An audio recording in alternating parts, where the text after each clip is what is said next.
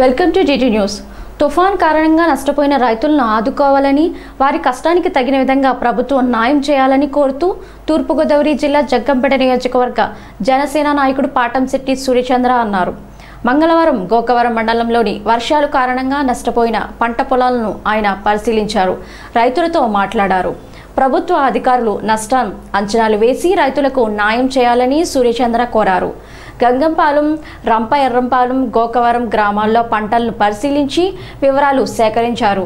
స్థానిక తహసీల్దార్ని కలిసి విడితి పత్రం అందజేశారు. రైతులకు అండగా ఉండి ప్రభుత్వం తరపున సహాయం అందేలా చర్యలు చేపట్టాలని తహసీల్దార్ని కోరారు.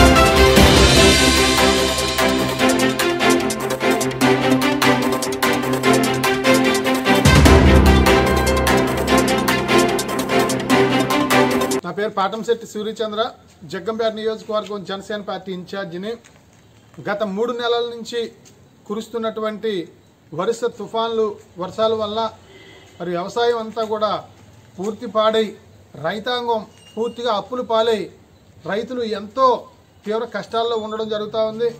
మరి మొన్న వచ్చినటువంటి ఆఖరణ వచ్చినటువంటి తుఫాను కూడా అక్కడక్కడ కొద్ది కొద్దిగా పండిన పంటలని మొత్తం నేలమట్టం చేసి రైతుల్ని పూర్తిగా నష్టపరిచిన పరిస్థితి చూస్తూ ఉన్నాం. ఈరోజు గోకవరం మండలంలో ఉన్నటువంటి అనేక గ్రామాలు మరి చూసి రైతుల యొక్క నష్టపోయిన పంటలన్నీ చూసి రైతులతో మాట్లాడి వారికి ధైర్యం చెప్పడం జరుగుతూ ఉంది. మరి ఈరోజు గౌరవ ఎంఆర్ఓ గారిని ఎంపీడీఓ గారిని కలిసి వినతిపత్రం ఇవ్వడం జరిగింది. జనసేన పార్టీ తరఫున జనసేన పార్టీ అధ్యక్షులు శ్రీ పవన్ కళ్యాణ్ గారు కూడా రాష్ట్ర వ్యాప్తంగా అనేక జిల్లాల్లో ఈ పంట నష్టపోయిన రైతుల్ని పరామర్శించి పంటలను పరిశీలించి రైతులకు పూర్తి స్థాయిలో నష్టపరిహారం ఇచ్చే విధంగా జనసేన పార్టీ తరఫున డిమాండ్ చేయడం జరుగుతూ ఉంది. ఇందులో భాగంగానే జగ్గంపేట నియోజకవర్గంలో అనేక గ్రామాలు తిరిగి మరి నష్టపోయిన రైతులతో మాట్లాడి పొల పొలాలు చూడడం జరుగుతూ ఉంది.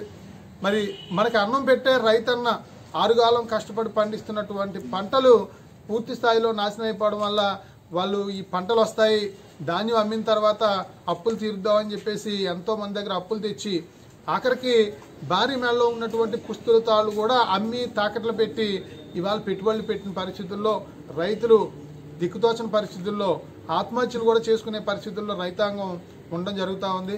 కాబట్టి ప్రభుత్వం పూర్తి స్థాయిలో రైతులకు నష్టపరిహారం ఇవ్వాలి. మరి ఎకరానికి ఆరు వేలు చొప్పున మొన్న కొద్ది మందికి ఇచ్చారు మిగిలిన వాళ్ళకి ఇవ్వలేదు. పూర్తి స్థాయిలో అందరికీ కూడా పంట నష్టపరిహారం పూర్తిగా ఇవ్వాలని చెప్పేసి మేము కోరుతా ఉన్నాం. ఆరు వేలు కాకుండా ఎక్కువ నష్టపరిహారం కనీసం పదిహేను వేలన్నా నష్టపరిహారం ఇవ్వాలని చెప్పేసి జనసేన పార్టీ తరఫున మేము డిమాండ్ చేస్తూ ఉన్నాం. అంతేకాకుండా గోకవరం మండలం ఇవాళ రాజమండ్రికి అతి సమీపంలో ఉంటుంది. ఈ గోకవరం మండలాన్ని కాకినాడ జిల్లాలో కలిపే విధంగా మరి అధికారులు కార్యాచరణ చేస్తూ ఉన్నట్టు తెలుస్తా తెలుస్తూ ఉంది. గోకవరం మండలంలో ఉన్నటువంటి ప్రజానీకం అందరికి కూడా ఇరవై కిలోమీటర్ల దగ్గరలో ఉన్నటువంటి గోకవరం అతి సమీపం కాబట్టి మరి గోకవరం మండలాన్ని రాజమండ్రి జిల్లాలో కలపాలని జనసేన పార్టీ తరఫున మేము విజ్ఞప్తి చేస్తున్నాం దీనికి కార్యాచరణ కూడా తయారు చేసే ఉద్దేశంలో ఉన్నాం. అంతేకాకుండా ఇవాళ ఈ వర్షాల వల్ల అన్ని గ్రామాల్లో ఉన్నటువంటి రోడ్లు చాలా దారుణంగా పరిస్థితి తయారై మరి ప్రయాణం చేయడానికి వీలు లేకుండా రోడ్లు ఉన్నాయి. మరి ప్రభుత్వం నవరత్నాలతో పాటు మరి ఈ రైతుల యొక్క సంక్షేమం కానీ మరి రోడ్ల నిర్మాణం కానీ అన్ని కార్యక్రమాలు చేయాలని ప్రభుత్వాన్ని డిమాండ్ చేస్తా ఉన్నాం జనసేన రైతుల కోసం చెప్పండి కౌలు రైతులు కూడా ఎన్నో ఇబ్బందులు పడతా ఉన్నారు. మరి కౌలు రైతులు వాళ్ళు అప్పు చేసి వ్యవసాయాన్ని పెట్టుబడి పెట్టడంతో పాటు రైతుకు కూడా మళ్ళీ ఎకరానికి పదివేల రూపాయలు వాళ్ళు ఇవ్వాల్సిన పరిస్థితి ఉంది.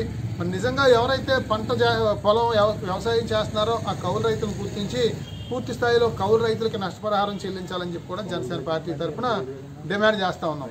ఇదండి ద్వారా రైతులకి పూర్తి స్థాయిలో నష్టపరిహారం జరగాలి. అటువంటి రైతులకి రైతులకి నష్టపరిహారం జరగకుండా బ్యాంకు ద్వారా రావట్లేదు. మరి అదే రకంగా ఇక్కడ కొత్తపల్లిలో ఉన్నటువంటి బ్యాంకులో మరి ఎన్నో లావాదేవీలు జరిగి ఎంతో అక్రమాలు చోటు చేసుకుని ఆ బ్యాంకులో ఉన్నటువంటి రైతులకు కానీ ప్రజల డబ్బు అక్కడ మాయమైందని చెప్పి కూడా చాలా మంది ఉన్నారు. దాని మీద అక్కడ విచారణ కూడా జరుగుతూ ఉంది.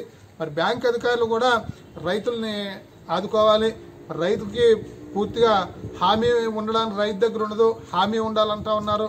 మరి రైతు ద్వారా రైతుకి మరి బ్యాంకు ద్వారా కూడా తగిన ఆర్థిక భరోసా ఇప్పించాలని చెప్పేసి కూడా కోరుతా ఉన్నాం.